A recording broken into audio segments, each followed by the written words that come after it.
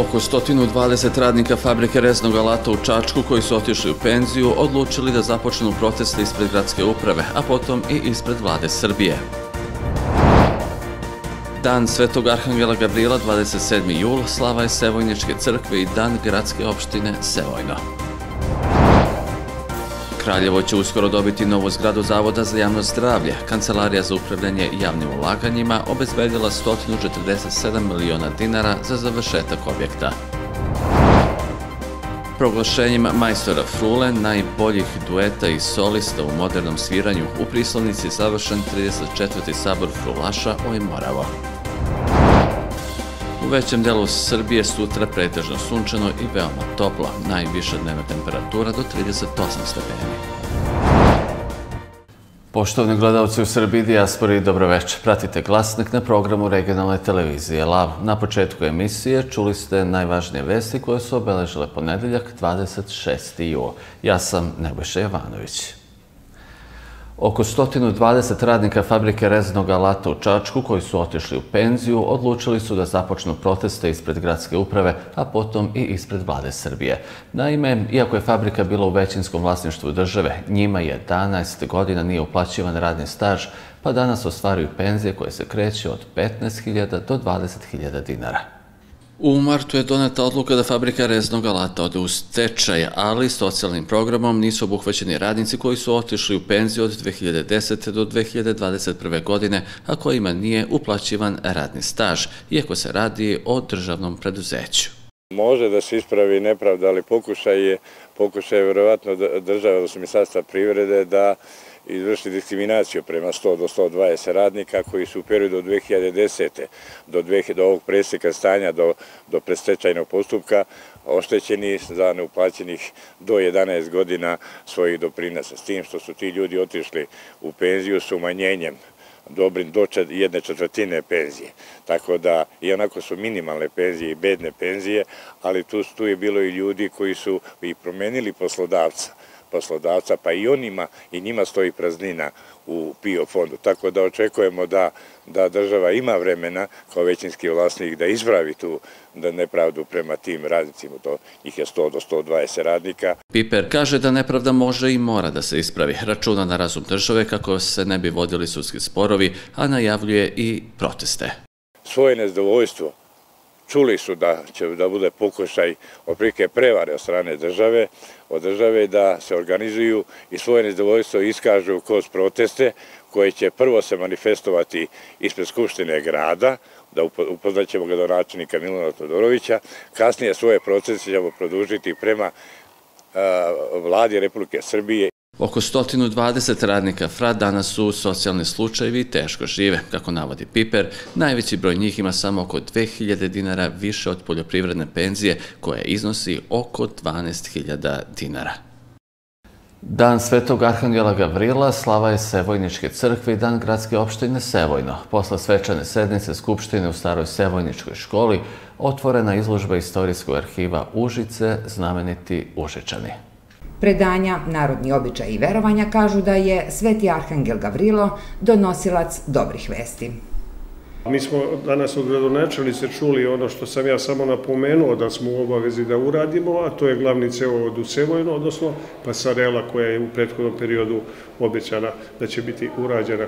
A nije obećano ništa da će se uraditi jedne godine. Mi smo u mandatu od četiri godine, tako da imamo još još e, 2021. polovinu.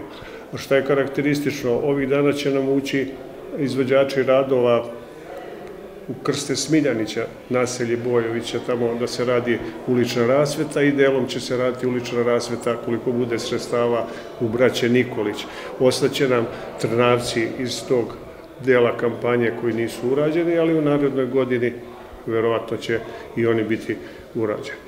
Kažem, za mene i kad sam dolazio ovde nisam znao šta me sve očekuje, bi bilo najlepše da se, da se taj cevovod uradi.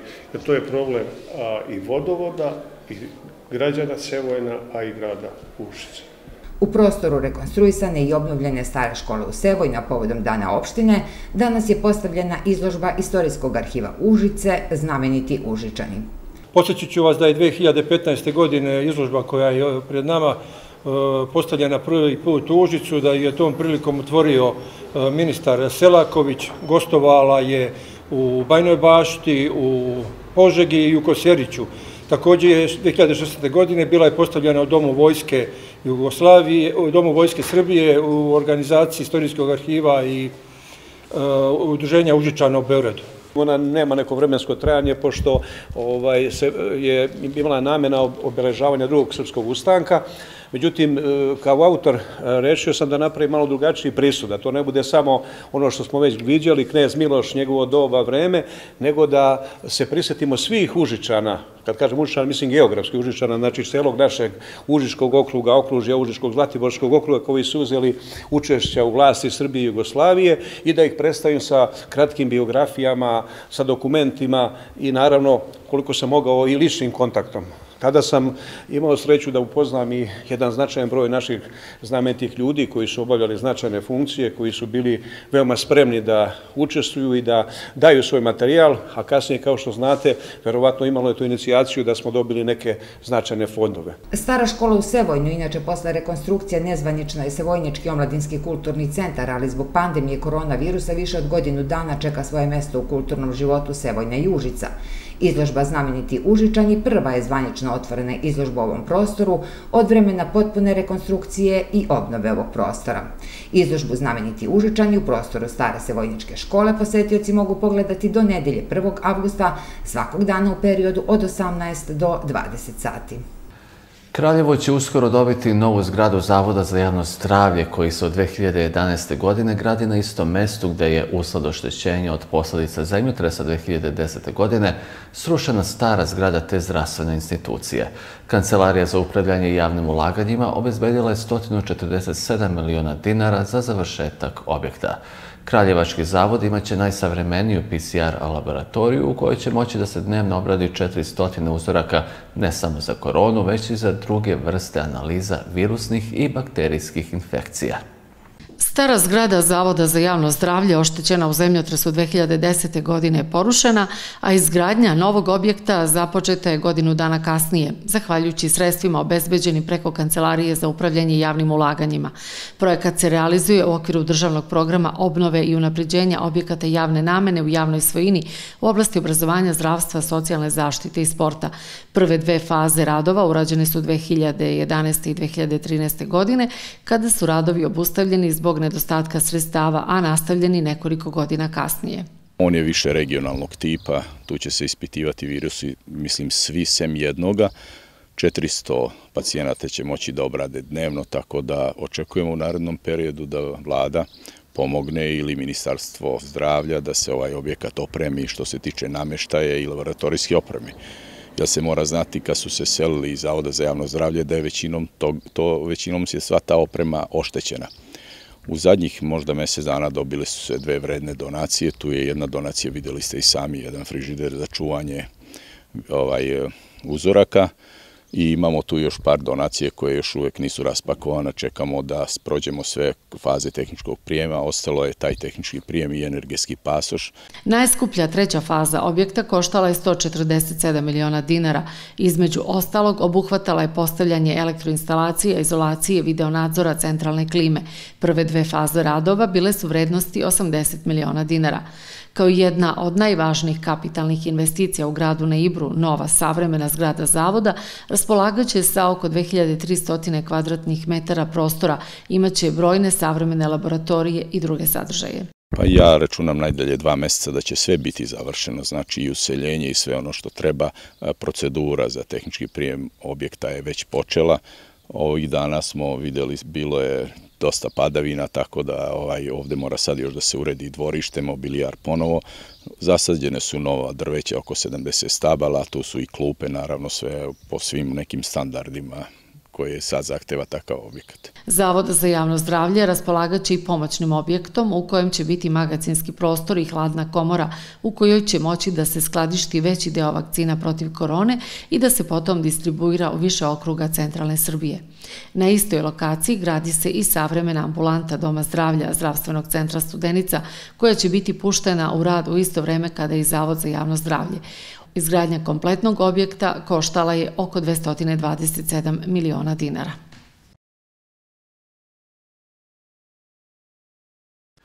U bolnicama Zlatiborskog okruga na lečenju se nalazi 28 COVID pacijenata, na respiratorima trenutno nema obolelih. U opštoj bolnici Užice leče se i dva pacijenta u privremenoj COVID bolnici. Hospitalizovano je 15 pacijenata, dok su u Pribojskoj bolnici 5 osoba i u Prijepolju 6 pacijenata. Na COVID odeljenju Čačanske bolnice trenutno je hospitalizovano 14 pacijenata, jedan više nego juče. U protekla 24 časa primljen je jedan pacijent sa simptomima koji ukazuju na moguću infekciju koronavirusom, a otpusta na kućno lečenje nije bilo.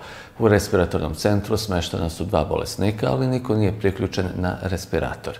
U prijemno-trijažnoj ambulanti Čačanske bolnice juče je evidentirano sedam pregleda, od čega je pet prvih. U proteklih deset dana zabeležen je blagi porast pozitivnih osoba na COVID-19. Nadležni apeluju da građani svih starostnih kategorija prime cepivo jer je virus i dalje aktivan, a u odnosu na početak, kada je vakcinacija imala progresivan tok, sada je znatno usporenija imunizacija. U toku jučerašnjeg dana u Čačku vakcinisano je 21 lice, 82 osobe su revakcinisane. Ukupan broj do sada je 42.000 vakcinisanih. Od tog broja procentualno 90% su građani zrelije starosne dobi, a važno je i da mladi razumeju značaj imunizacije. Građani sa kojima smo razgovarali najviše veruju vakcini proizvođača Pfizer i zbog toga su i došli u Čačak jer nema raspoložljivih vakcina ovog proizvođača u Užicu i Priboju. Došao sam na revakcinaciju, primam znači, drugu dozu vakcine Pfizera. Nekako sam se na, na tu vakcinu odlučio zato što su ono, naj, najmanje medijske hajke, najmanje, tako da kažem, teorija zavjere je bilo vezano za tu vakcinu. Ono, najmanje se pričalo o njoj, pa zbog toga sam se odlučio za tu vakcinu. A E, što se tiče treće znači, doze, treću dozu, ako, ovaj, pošto vaše ministarstvo zdravlja, znači, te preporuke znači, ovaj, izdaje, ako ono preporuči, znači, doći na treću dozu vakcinacije, isto ovdje u Čačak. Zahvaljujući jednom mom prijatelju koji je doktor i savjetima jedine što prije da se vakcinišem i odlučio se za Pfizera. Da li razmišljati o trećoj dozi s obzirom da to da se priča? Pa ako bude trebalo i vakcinišati treća doza. Da li je bilo nedomica kada je reč o vakcinaciji? Nije. Nije bilo nedomica, odlučio sam se odmah. Da li imate strah koju govori se o delta soju? Da li sad... Pa sada malo ipak imam. Imam strah, mada mi smo bolovali koronu. Nismo imali neke velike simptome, temperature i to. Okus, miris jesmo ili izgubili, ali da smo imali neke velike promjene nismo. Za Pfizeru sad o tome da li je kvalitet ili nije, to sad ja ne znam, ali da bi se moglo putovati i na zapad, ove Sputnik i kineska Sinopharm, manje priznaju, ne znam. Tako sam čuo. Da li ćete primiti i treću dozu vakcine? Pa ako bude trebalo. Kada je reč o trećoj dozi vakcina, nadležni napominju da je zdravstveni sistem spreman, ali ima vremena, s obzirom na to da je tek isteklo šest meseci građanima koji su među prvima primili prvu dozu cepiva. Zdravstveni sistem je apsolutno spreman što podrazumeva situaciju da mi imamo dovoljan broj svih vakcina koje budu trebala da se daju u toj situaciji, međutim još uvek radimo razradu E, celog plana da vidimo kako ćemo to da radimo na nivou cele države, a naravno posle na nivou okruga, kad, koga i, i, i, i kome ćemo preporučivati i pozivati za tu treću dozu i, i koji, koji će algoritam davanja biti. Virus je i dalje aktivan. Pre sedam dana zabeležen je povećan broj pozitivnih na koronavirus jer su mere popustili. Građani su se opustili kada je reč o merama zaštite, maske se redko nose. Takođe ne vodi se računa ni o držanju fizičke distance. Delta soj je sigurno prisutan u, u, u našoj populaciji. E, kao dokaz toga možemo reći da mi imamo visok broj vakcinisanih osoba, a ipak se virus, ipak, ipak virus pronalazi, pronalazi načina da zarazi pojedine ljude, što će reći da virus ima svoj visok potencijal, ali opet i mi smo sad dosta zaštićeni, pa ja ne verujem da će on moći da eksplodira ni blizu kako je to bilo pre 4-5 meseci. Državni sekretar u Ministarstvu zdravlja Mirsa Đerlak rekao je za radio televiziju Srbije da je rizično nevakcinisan čekati delta soj i jesen. Podsjećamo da je koronavirus u Srbiji od početka epidemije registrovan kod više od 720.000 osoba, a zabeleženo je 7.104 smrtna slučaja. U danu kada Srpska pravoslavna crkva praznuje sabor Svetog Arhangela Gavrila i njegovo javljanje kroz istoriju ljudskog spasenja, svetom liturgijom proslavljen je jubilej 200 godina od postojanja crkve Svetog Arhangela Gavrila u Staparima. Crkva u Staparima je jedna od redkih seoskih crkava koja ima živopisne zidne slike. Freske kao i ikone na ikonostasu radio je Dimitrije Postinković sredinom 19. veka. Uz brojno sveštenstvo, vernike, predstavnike grada Ušica i Meštana, svečano je proslavljena slava crkve Svetog Arhangela Gavrila u Staparima, koja je podignuta 1821. godine. Evo 200 godina, braćo i sestre, a tada je bilo 30 kuća u ovom selu, ovaj hram slavi i bogosluži. Usnosi slavu Otcu Nebeskom i Svetom Arhangelu Božijem Gavrilu i mi smo se danas okupili da proslavimo pre svega ime Božije i ime ovog divnog svetitelja. Kažu da bi imao budućnost, moraš poznavati i svoju prošlost, negovati kult predaka, pa je u skladu sa tim crkva u Staparima i obnovljena. Nedavno su izvedeni neophodni radovi na objektu i u porti crkve, a bilo je i dosta vernika koji su i sami pomogli da ovaj hram bude dostojan značajnog jubileja ovim jubilejem ne samo da vaskrsa ovaj hram, već naravno i ovo mesto, selo Stapari. Svi pravoslavni hrišćani objedinjeni, da kažemo, oko cijele ove svetinje. kako bih rekao, evo danas mi slavimo čuda Svetog Arhangela Gavrila, a danas, kako kaže naš narod, svi mi očekujemo neka čuda. Čudo danas sačuvati porodicu, čudo danas održati porodicu, da kažem, u ovom svetu kakvom živimo, tu smo na taj način da posvedočimo o vaskrsenju ovoga hrama, ovoga mesta. Svi zajedno moramo iz godine u godinu raditi na tome da se poveća broj vernika koji će i u budućnosti negovati i čuvati veru pravoslavnog naroda, poruka je Užičkog sveštenstva. A opet i ovaj poziv, e, kako bih rekao, jeste jubilej 200 godina, ali nikako i nije, eto, obeležili smo 200 godina i tu stajemo. Naprotiv, počinje da se služi liturgija, počinje da se objedinjuje narod. Narod se poziva upravo na tu duhovnu slogu, pravoslavnu slogu i na taj način obavezuje sve nas, očeve, buduće očeve, buduće majke, da ovo ostaje njima. Ovo ne ostaje samo trag u istoriji, već nama, pravoslavnim hrišćanima.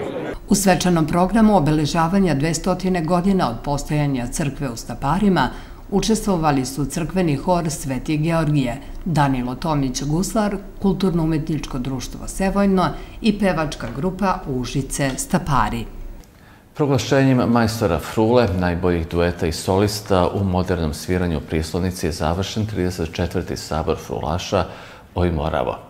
Janko Lukić iz Kragujevca proglašen je za najboljeg frulaša ovogodišnjeg sabora. Dodeljena mu je titula majstorskog pisma, odnosno majstora frule. U kategoriji dueta prvo mesto zauzeli su brat i sestra Svetozar i Jelisaveta Šutić iz Beograda. U kategoriji savremenog sviranja drugu nagradu je svoju Aleksa Miletić iz Starčeva. Za Kragujevčanina Janka Lukić ovo je treća pobjeda na Saboru Frulaša u kategoriji savremenog sviranja, rezultat prethodnih uspjeha i ovogodišnjeg je i titula Majstor Frule, veliko i sasvim zasluženo priznanje. Ta titula majstorskog pisma za mene znači jako puno. Sav trud koji se do sad, da kažem, isplatio, to se potvrđuje ovom nagradom. 20-godišnji Aleksa Miletić iz Sarčeva, koji je zauzeo drugo mesto u kategoriji savremenog sviranja, nastavit će da se takmiči, iako mu i ovogodišnja nagrada mnogo znači. Bilo je dosta naporno, trudio sam se, bila je dobra konkurencija, jaki takmičari. E, pa, nisam nešto očekivao, ali žiri je presudio.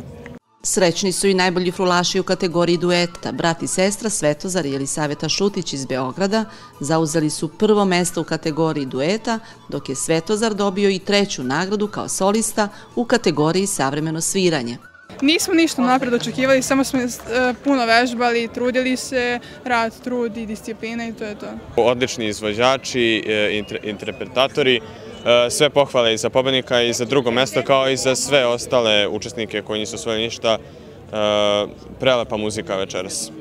Sabor Frulaša je održan uz poštovanje svih protivepidemijskih mera i bez ikakvih incidenata. Predsednik Saveta Sabora naglašava da je važno to što je na manifestaciji bilo mnogo novih frulaša koji su se prvi put pojavili mnogo mladih frulaša u kategoriji izvornog sviranja što je garancija da Frula ima perspektivu u Srbiji i da se taj tradicionalni način sviranja neće ugasiti. Nadam se da smo bar po oceni ove publike, koliko bih ja ovako rekao, da smo uspeli da pređemo Ibersku magistralu. Drugi dan sabora obeležilo je i takmičenje mladih frulaša, zatim poseta manastiru Vujan, uvaženi gostiju iz različitih oblasti društvenog života. A iz ove svetinje sve je i počelo. U oči slave manastira sveti Arhangel Gavrilo. Prvi sabor kada je održan, održan je u oči slave manastira Vujna. I uvek se i održava kada manastir slavi, samo je pitanje organizacije samoga sabora, pošto se uvek gleda bude za vreme vikenda, kako bi posjećenost bila veća. Ove godine slava pala u ponedeljak po vikendu. Među humanim ljudima koji dosta investiraju u manastir kao i svoj kraj kome se uvek rado vraćaju, gde god da su u svetu je i privrednik Ostoja Mijajlović, dosta investira u prislonicu, a kada je reč o manastiru Vujan, pomoći će u narednom periodu u oslikavanju hrama. Nakon toga slede druge investicije. Sad upravo radimo projekat, e, oslikat ćemo manastir, odnosno ćemo očistiti freske koje su gotovo negdje 30. godine slikane i nisu obnavljene. Evo gotovo već 90 godina i dosta su izbledele, manastir ćemo iz polja obnoviti, tako da naredne dve, tri godine ćemo se baviti time. Država je pomogla ove godine i potpisan je ugovor gde će e, put od Brđana do Prislanica ovdje do manastira biti za 5 do 10 dana će početi radovi, bit će, ne kažem, presvučen, napravljen nov, uređena je mreža tu u manastiru Vujan, gde je bilo dosta odrona na parkingu ispred manastira. Za nesmetano funkcionisanje Sabora Frlaša važna je infrastruktura za taj posao, zadužena je mesna zajednica i komunalna preduzeća. Ovo je republička manifestacija, a mi e, shodno tome dajemo i rezultate. Pre dve godine smo dobili izuzetnu Vukovu nagradu, to je najveća nagrada u oblasti kulture koju je grad Čačak, naša mesna zajednica i ovaj sabor dobija. Naravno, naše radne jedinice čistoća i javna higijena imaju mnogo posla i pre sabora i za vreme sabora imaće i kada se završi sabor. Znači, sve to je ustavljeno. Mi održimo prvo jedan sastanak pripremni sa ljudima iz mesne zajednice i uradimo sve to, napravimo jedan dobar plan i to sprovedemo. Grad Čačak podržava Sabor Frulaša kao i druge manifestacije, ne samo na gradskom, već i seoskom području, koje promovišu tradiciju i etnokulturu. Osim programa koji je kvalitetan svake godine, dobar marketing i drugi sadržaj također mogu da privuku posetioce, kažu nadležni. Mi sve što vredi, a pogotovo manifestacije na seoskom području, nekadašnje saborovanje, mi ćemo podržavati u buduće. Naravno, tu mora biti i kulturno-umjetničkog programa kako bi se i domaće stanovništvo, a i gosti zabavili na pravi način.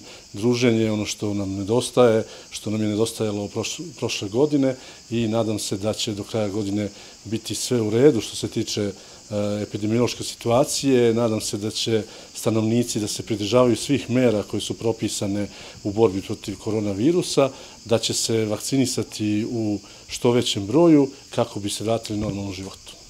Tokom dva dana koliko je sabro Frulaša traja, uživali su ljubitelji ovog starog instrumenta u lepom ambijentu prislonice zvucima frule na svakom koraku, dečijoj graji, šarenim tezgama, dok se selom širio miris kuvanog kupusa, pečenja, pljeskavica. Mnogo lepo. Jeste dolazili do sada? Jesmo, kako ne, nije prvi put. Odakle ste? Od Kragujeca, Stragari, selo. Prošle godine nije bilo, ali radnje godine je bilo velika poseta i mislim da je jedna lepa tradicija za srpski narod i srpski običaj i da će buduće biti isto kvalitetno i nadam se ovaj. Ovo mi je prvi put i lepo je. Baš lepo. Nije mnogo sad ni vrućina ovako. Kako ume da bude? Da. E, šta vam se najviše dopada? Pa, kad počnu deca da sviraju, da, da navijamo za njih, da pobede. Dramski deo važan je segment Sabora Frulaša. Prvog dana posetioci su uživali u monodrami Pus pas za sve nas u izveđenju Jelene Puzić. Drugi dan duo dramu Milevi Marić Einstein izveli su Miloš Anđelković i Jelena Mila. Ja sam treći put u Prislonici i ja se sad već osjećam kao stalni član Prislonice. Ako nisam na sceni, ja sam ispred scene. Mislim da je cijela ova manifestacija jedan genijalan e, projekat. Vidim da ovdje stoji Prislonica ideja, ja kažem Prislonica inspiracija. Pa eto, ovo, jeste zaista je važna. Frula je jako važna za naš identitet u svakom pogledu. Ovaj, a moje prisustvo ovdje je jako lepo što se kombinuje znači muzika, ovako lepa muzika sa ozbiljnim dramskim tekstovima. Pred početak takmičenja Zlatna frula centralnog događaja Sabora domaćin akademik Darko Tanasković održao je besedu o fruli. Takmičare je pratio orkestar Bobana Prodanovića. Sabor je bio, a vredni organizatori već sada imaju viziju kako će izgledati smotra naredne godine jubilarne 35. Sabor frulaša Oj Moravo. Podsjećamo da su organizatori Sabora, Savjet Sabora, Mesna zajednica Prislanica, Turistička organizacija Čačka i Kulturno-prosvetna zajednica Čačka. Pokrovitelji su Grad Čačak i Ministarstvo trgovine, turizma i telekomunikacija. Gledate glasnik na programu regionalne televizije. Lav sledi kraća pauza za blok reklama, a potom slede vesti iz sporta i vremenska prognoza.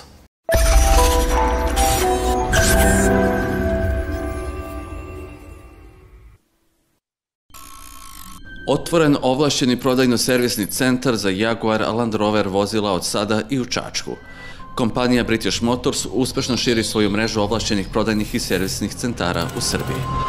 British Motors Zapad izgrađen je po visokim standardima Jaguar Land Rover grupacije i time garantuje prepoznatljivu vrhunsku uslugu, stručnost, kvalitetna vozila, originalne delove i pristupačne cene – Od sada u Čačku možete kupiti Jaguar Land Rover vozila kao i polovna vozila svih brendova, a nudimo i sve vrste servisnih usluga, diagnostiku, mehaničarske radove, limarijsko-farbarske radove, podešavanje geometrije trapa, zamenu guma. Očekujemo vas. British Motors, Zapad, Prislonica, BB, 032 538 2424.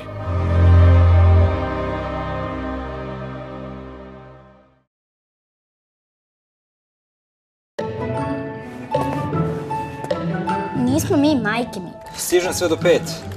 Života mi. Tri puta sam merio. Svega mi.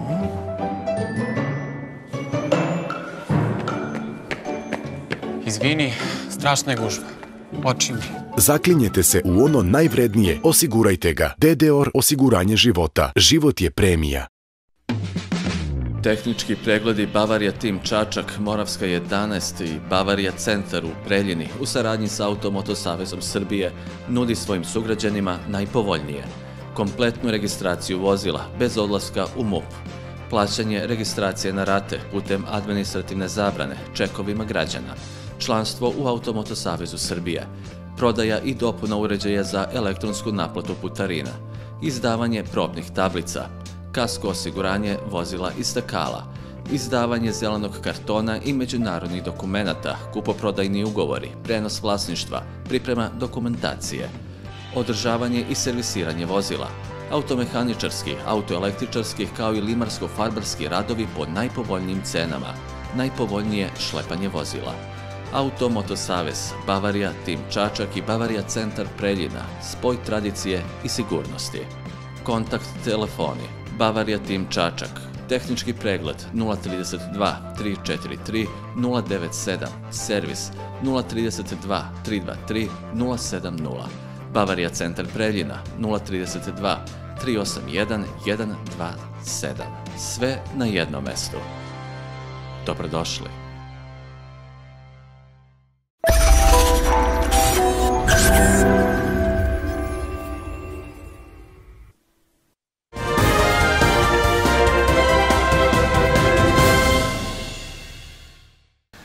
Košarkašice Srbije su u svom prvom meču na olimpijskim igrama u Tokiju savladale selekciju Kanade rezultatom 72-68.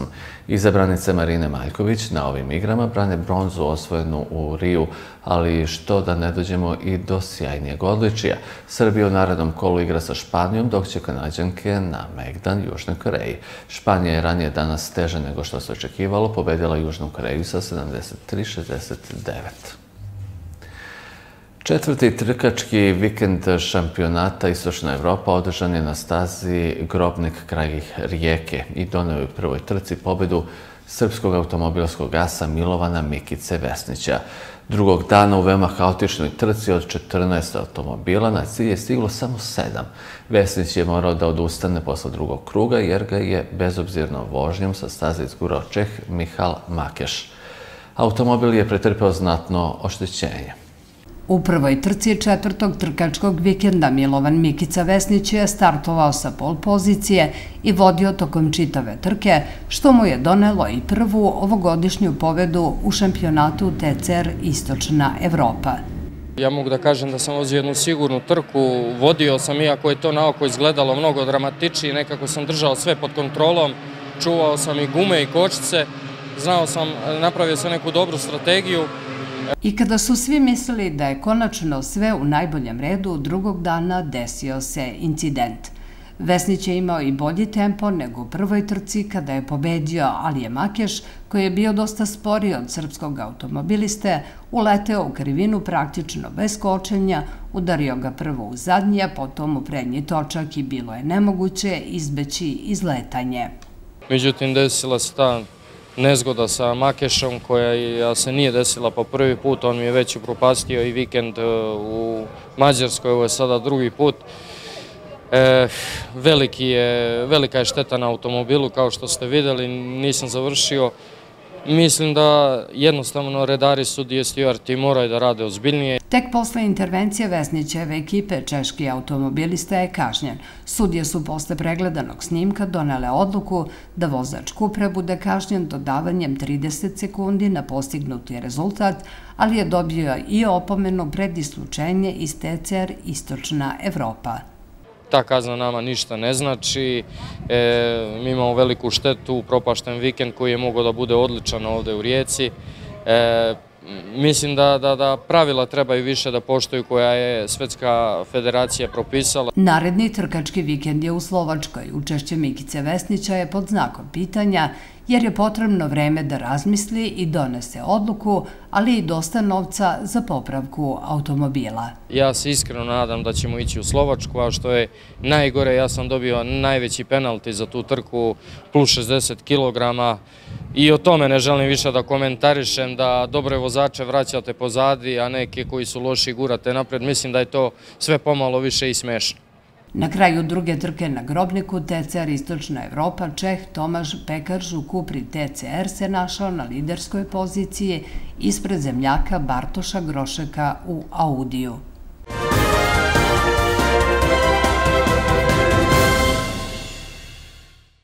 Nastavlja se tropski talas. U većem delu Srbije sutra će biti pretežano sunčano i veoma toplo vreme, ali je sredinom dana na severu i brdsko-planinskim krajevima moguća kratkotrajna kiša sa grmljavinom.